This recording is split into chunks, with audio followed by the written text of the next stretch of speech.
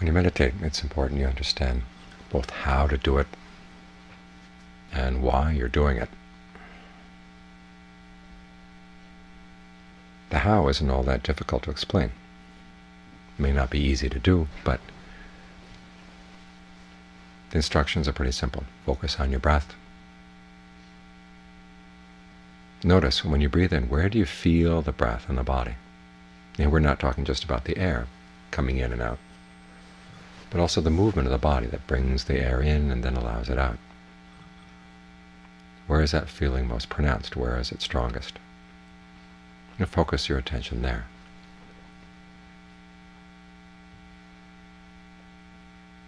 Try to stay with the sensation of the breath all the way in, all the way out. You may want to use a meditation word along with the breath. Buddho is traditional. It means awake. It's the title the Buddha earned on the night of his awakening. It's the quality of mind that you want to develop. So you divide the word into two, Bud for the in-breath, Dho for the out. And allow the breath to be comfortable. It's normal when you first focus on the breath to find yourself forcing it too much. You want to make sure it's clear, you want to make sure it's distinct, and so you make it too strong or too too long, too short, whatever. So remind yourself that it's going to be easier to stay with the breath if it's comfortable. So you can experiment. See what rhythm of breathing feels best right now. Think long breath and see what the body does. And then how does it feel? Stick with it for a while, then think shorter breath. And if shorter breath feels better, then stick with the shorter breath. If not, go back to the longer breath. Then after a while, think deeper. See how that feels. More shallow. See how that feels. In other words, take some time to experiment with the sensation of breathing to see how it feels. Till you get a rhythm that feels just right. And then stick with that rhythm as long as it feels good. If you find that after a while it starts getting mechanical or unpleasant, then experiment some more.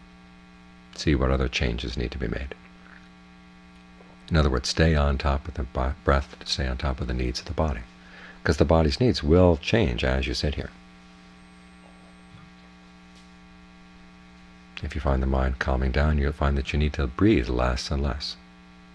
The body will get enough oxygen. In fact, it's possible that when the mind is really still, that the sensation of in and out breathing will stop because you're getting enough oxygen in coming into the pores of your skin.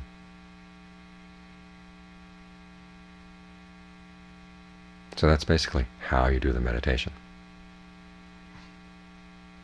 When the sensation of breathing feels good, you can think of allowing that sensation to flow to different parts of your body like a current of honey going down the front of the body, down the back of the body, down through the shoulders and the arms, down to the base of the spine, out your legs to the tips of the toes. In other words, don't force the sensations in the different parts of the body, but if there's a sensation of ease or comfort, allow it to flow, allow it to connect with different parts of the body, working through any sense of tension or tightness you may have in the body and allowing it to, to dissolve away.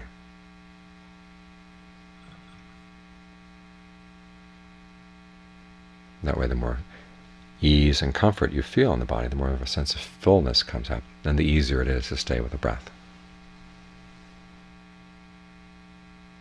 So that's pretty much the how, how you do it. Now why is also important because it helps keep you with it and to understand what you're doing to understand the point of all this. Because you're going to find different voices in the mind saying, why am I doing this? Why don't I think about that? Why don't I think about this? Not everybody in this committee of your mind is sold on the breathing meditation yet.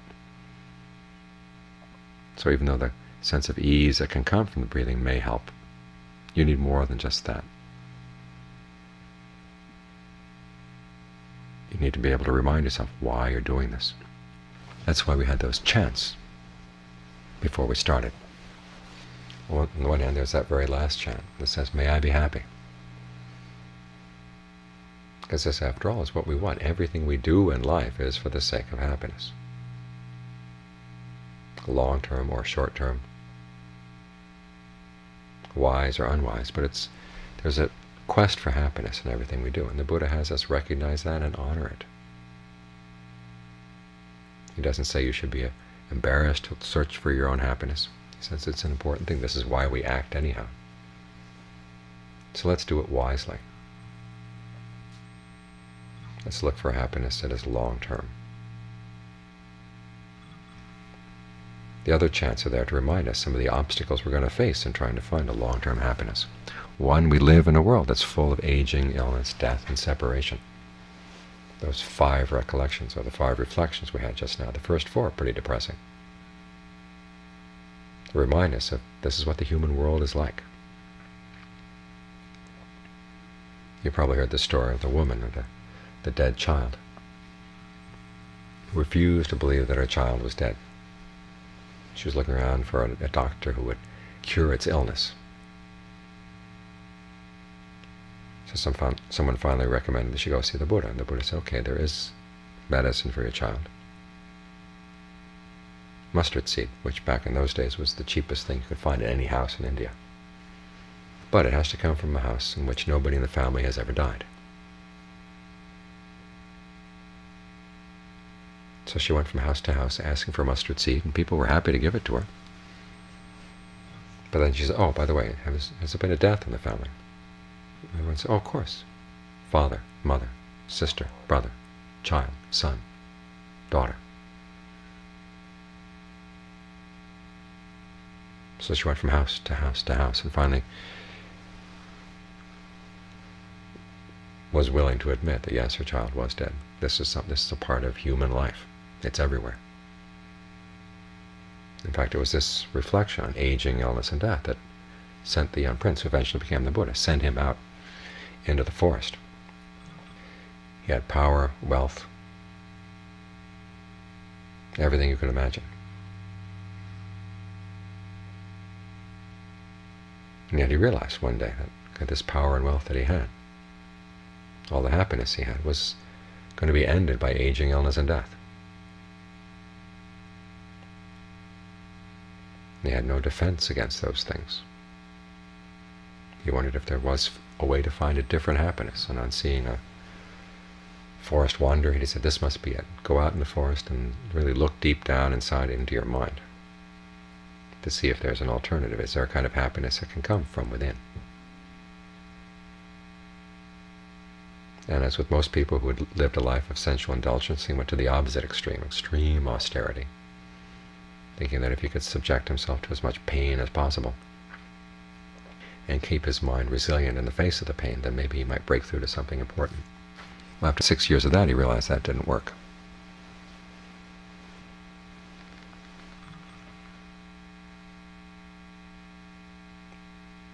Which is how he then came back to the middle path, halfway between sensual indulgence half and self-torture. In other words, using this state of mind, calm, clear, easeful that we're trying to work on right here, right now, as a way of observing the mind, to see what it does to create suffering. Because as you realize, the cause of suffering isn't outside, it's what the mind does to itself, how it handles the events of life. This is that fifth reflection. It's our actions that make all the difference between whether we're going to suffer or not. And that's the reflection that's hopeful. Because we can change our actions. If we've been acting in an unskillful or thoughtless way, we can change. But change has to come from learning how to control your mind. So you can observe it. This is why we meditate, is trying to exert some sort of control over the mind, keeping it mindful. In other words, you try to keep the breath in mind and keeping it alert, watching to see what the mind is doing. because it's only then that you can clearly see what the mind does that causes suffering and what it does that actually leads to an end of suffering. So that even you, though you live in a world filled with aging, illness, death and separation, the mind doesn't have to suffer.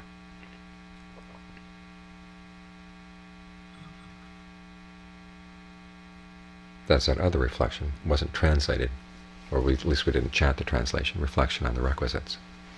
This is another issue in finding happiness, reflecting on the fact that when you're born into this world, you need food, clothing, shelter, and medicine.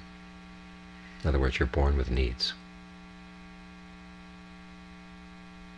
We don't come into this world complete. We come in like a, each of us like a big gaping hole.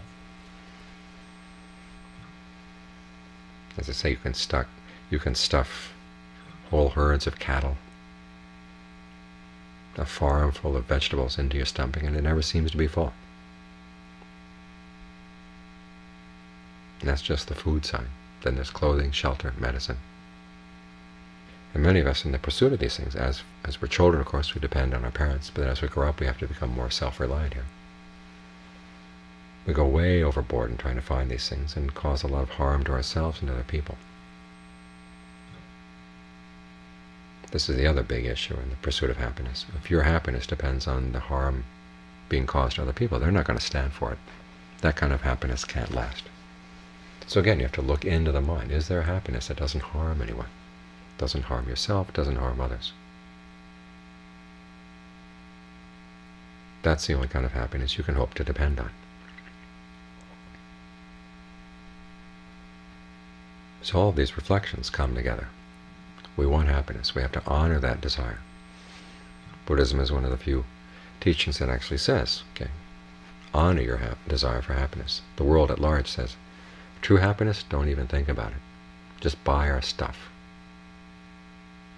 We can't promise real fulfillment, but at least a little bit of pleasure in ownership, a little bit of pleasure in consumption. That's the best there is. That's what they want us to think. So we focus all our energies in trying to get this, get that. But the Buddha says, no, you have the potential for true happiness. Each of us does. You should honor that desire for true happiness, a happiness that doesn't disappoint, a happiness that doesn't cause any harm.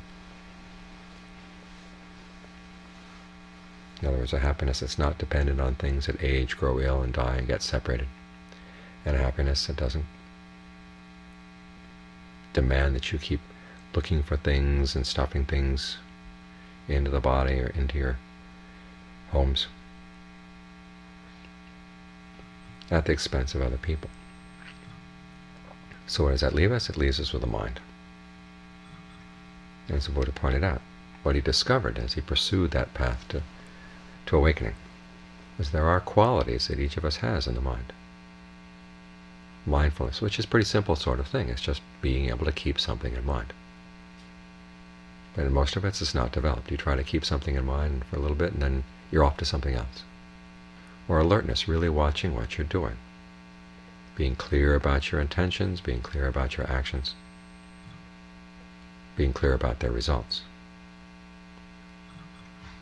That's a quality we all have to some extent. But again, it's not thorough, it's not all around. It needs to be developed, it needs to be trained.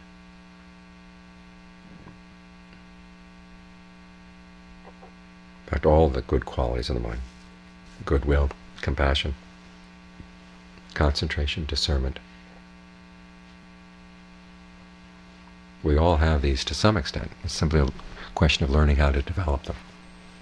If you really develop them, you find that you've got all the potentials you need for true happiness right here in the mind. Once you can tap into that inner source of happiness, then you can live in the world from a position of strength, helping other people when they need to be helped, and you're able to provide the help.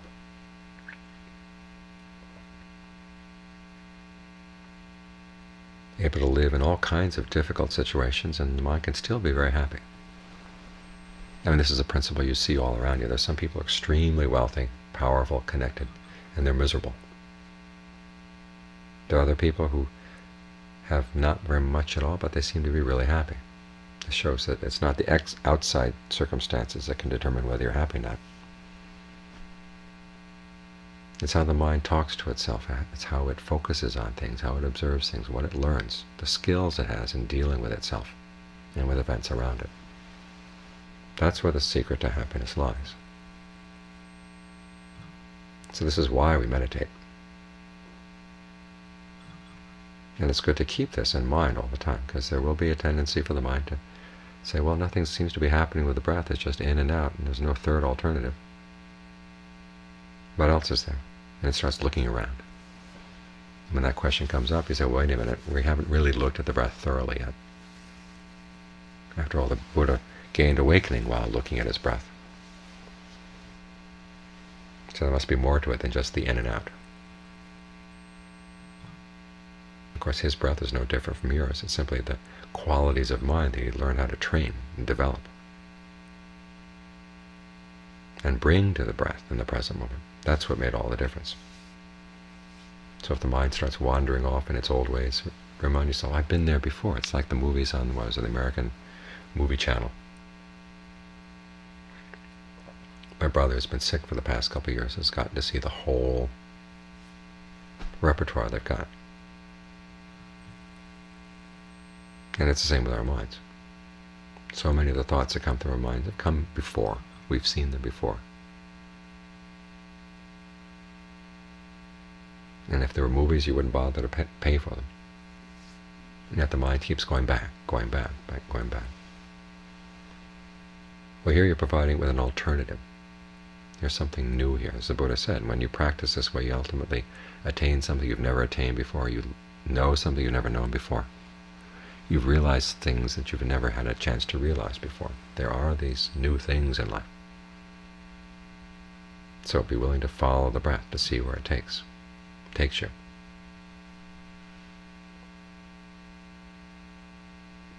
So this is the kind of understanding you need to meditate. One is understanding how to do it, and two, you understand why. That helps keep you with it, because it's the staying with it that makes all the difference. It's like a medicine. There are some creams that you put on your skin to heal rashes. That's not the case. You put the cream on and then you wipe it off. You put it on and you let it stay there for long periods of time so it can do its healing work. It's the same with the breath. It takes a while sometimes for the breath to help heal the mind, but it is healing. When the breath is comfortable coming in, going out, and you can get in touch with how to let that comfortable sensation spread throughout the body, down the nerves, throughout the body, out to the skin. And then just let it stay there. You find gradually, bit by bit by bit, the mind does feel healed, the body feels healed.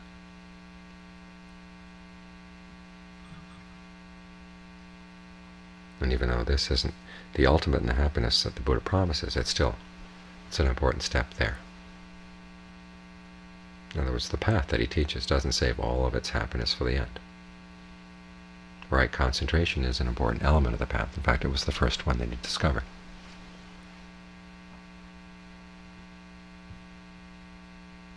It can give you a sense of ease and well-being as you go through life continuing to practice. This is your strength. This is your nourishment.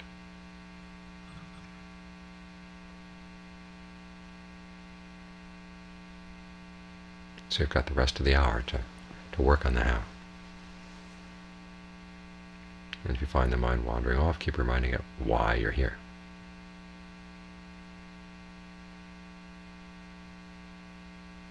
and with time you're sure to see results.